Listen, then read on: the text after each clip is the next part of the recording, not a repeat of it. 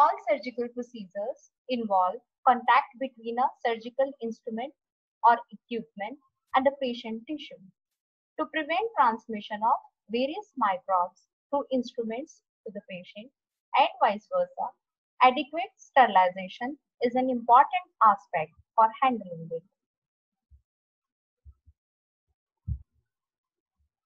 Sterilization can be defined as a process by which all viable forms of microorganisms such as fungi, bacteria, viruses are removed or destroyed. As microorganisms are present everywhere, since they cause contamination, infection or decay, it becomes mandatory to remove or destroy them from surfaces and from material. Sterilization procedure used it should be simple but effective and of relatively shorter duration and cost effective too. Before going further, we have to understand certain common terms such as asepsis. It means absence of an infection or microorganism are prevented to access the patient or individual by following the clean practices. Antisepsis stands for prevention of sepsis by the destruction or inhibition of microorganisms using an antiseptic agent on animate or living tissue. Disinfection means killing of microorganisms but not their spores by using certain chemical substances on inanimate or non-living objects. Sterilization stands for complete elimination of microorganisms by physical or chemical means. Now, the history of sterilization. Louis Pasteur of France was among the first to use sterilization techniques. He developed the steam sterilization, hot air oven, and the autoclave. Pasteurization was a method developed by him to get rid of bacilli from the milk. Joseph Lister, in the year 1867, applied Pasteur's work and introduced antiseptic techniques in surgery. That's why he is also known as the father of antiseptic surgery.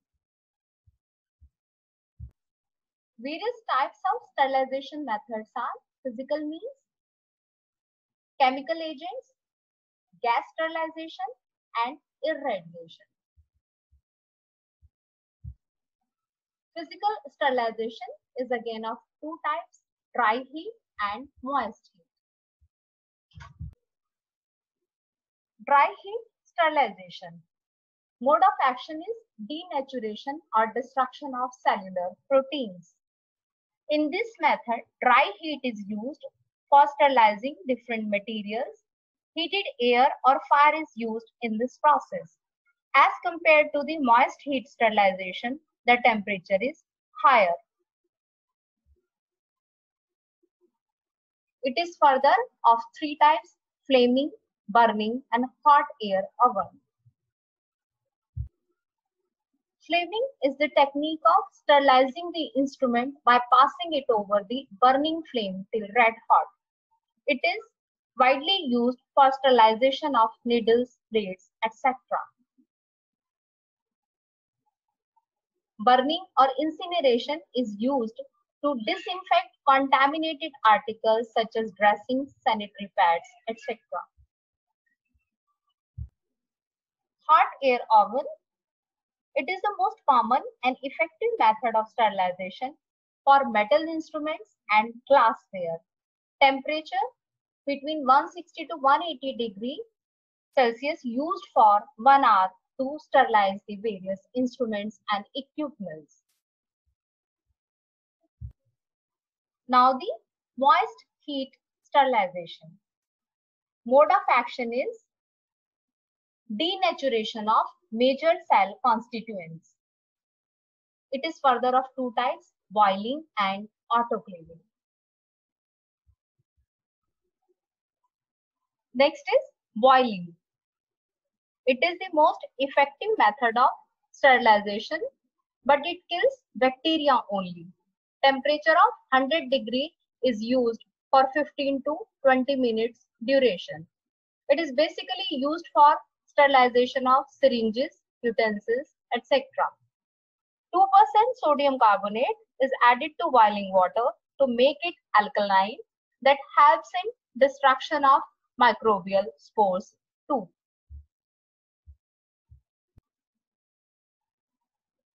Autoclaving it kills all type of organisms including spores. It is a moist heat in the form of saturated steam under pressure. Temperature of 120 to 135 degrees under 15 pounds per square inch pressure is used for 15 to 20 minutes for the sterilization. Complete cycle assessment is confirmed by using specific gelatin protein which precipitate only in steam under pressure for 20 minutes. The green colored strip turns to black if autoclave is complete, which is signifies as signal off. Surgical gloves, linen, cotton, dressings, surgical instruments are sterilized by this method. Sharp and plastic instruments cannot be sterilized by it. Double autoclaving is done for instruments which we are going to use for orthopedic or ophthalmic surgeries. In field sterilization, we can use large pressure cooker under maintained pressure for 45 minutes as an autoclave. Now, the chemical means of sterilization. It is also known as cold sterilization. It destroys all bacteria except tubercle bacilli, but spores and viruses may not be destroyed by it. Immersion of instruments in tray containing these chemical substances or it can be used in painting of the operated area and mopping, etc. It is widely used for sterilization of sharp-edged instruments. Groups of chemicals which we can use for sterilization are alcohols, aldehydes, ammonia compounds, chlorhexidine, chlorine compounds, iodine compounds, and phenol and its derivatives. First group is alcohols. Mechanism of action is protein denaturation, metabolic interruption, and cell lysis. Most common examples are isopropyl alcohol and ethyl alcohol, which is used for injection site preparation and spot cleaning, etc. It is corrosive to stainless steel and very much volatile in nature, so can be used with caution.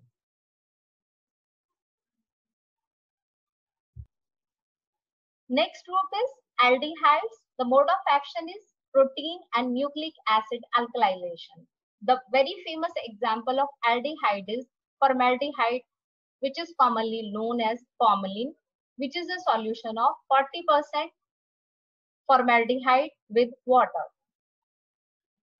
It is capable of killing all bacteria, spores, and viruses.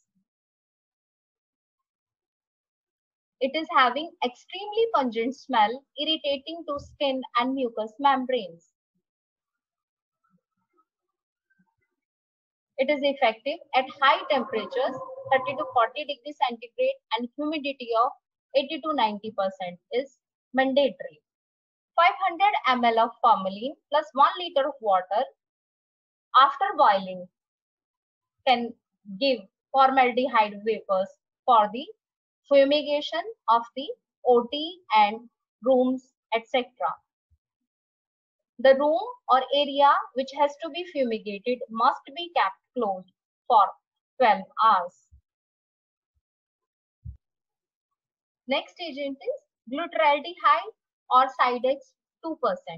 It is very potent bactericide, sporicide, fungicide and virucide. It is used to sterilize sharp instruments such as blades, scalpels, needles, etc.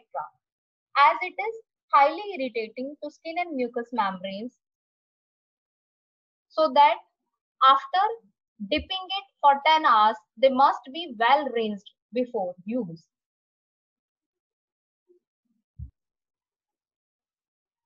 Next is chlorhexidine or Hibitane. It is an antiseptic agent which is highly effective against gram-positive and gram-negative organisms. It is present in detergents, tinctures, and aqueous solutions. A concentration of 0.75 to 1% is used for preparation of patients for surgeries as scrubbing. Also used as hand scrubs as non-irritating to the skin.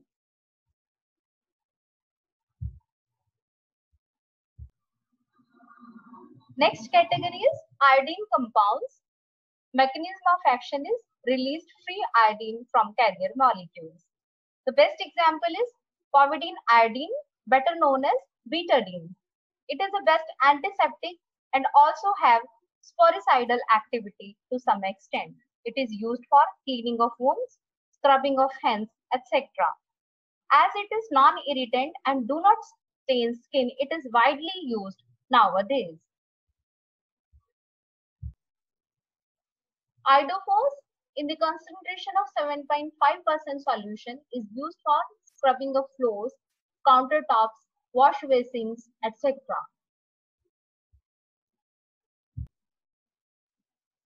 Now the chlorine compounds, mechanism of action is by chlorination and oxidation of essential molecules. The first example is hypochlorite solution. We are very well aware of mechanism of action of this potent sterilization agent in this COVID era. 2.5% sodium hypochlorite solution is used for cleaning the floors, countertops, washrooms, bathrooms, basins, etc. It should be used with caution as it is corrosive to the metals. Next is EUSOL solution that is Edinburgh University solution. It is a combination of sodium hypochlorite, boric acid and calcium hydroxide. It is basically used for cleaning of ulcers, fistulous tracts, etc. The last group is phenol and its derivatives. Mode of action is disruption of cell membranes and precipitation of cellular proteins. The famous example is phenol or carbolic acid. 2% solution is used. It is bactericide but has no effect on viruses and spores.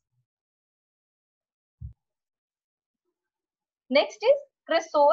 0.5 to 1% concentration is used and it is very helpful as intestinal antiseptic. Lysol is very commonly used for disinfection of non-living objects such as cleaning of bathrooms, floors, tiles, basins, and organic waste such as feces, urine, etc. Dettol or chloroxylenol 2% solution is used as a potent antiseptic for dressings or cleaning of wounds. Another variety is Savlon, which is a combination of chlorhexidine and cetrimide. Very effective germicide and used as household product for cleaning or as first aid management, etc. Now the gas sterilization. Ethylene oxide gas chambers are used for the sterilization purpose.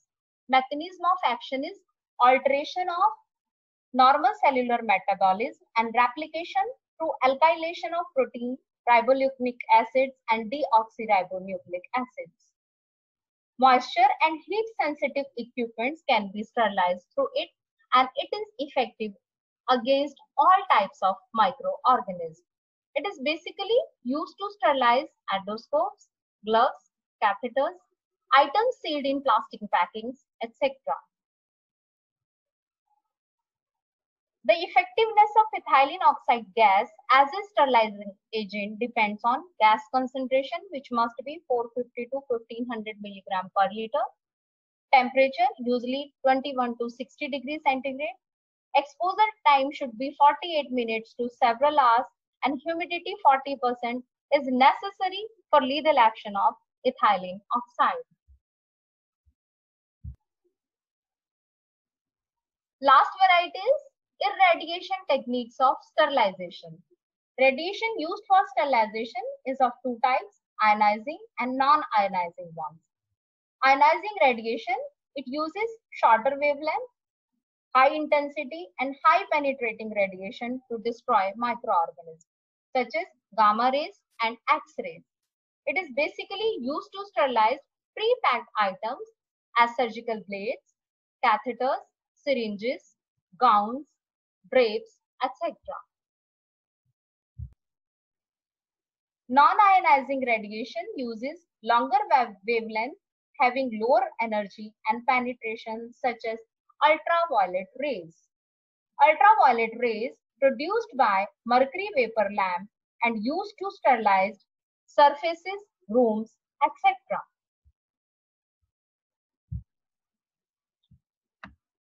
This is all about the sterilization techniques. We must have an idea about the type of sterilization technique we have to use for different types of surgical instruments, equipments, part preparation, pre and post operative care, etc. Thank you all. Take care, stay home, stay safe.